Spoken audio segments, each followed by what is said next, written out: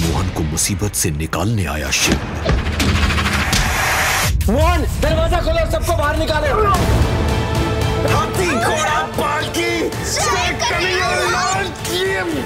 चलो जल्दी चलो। राधा जल्दी चलो।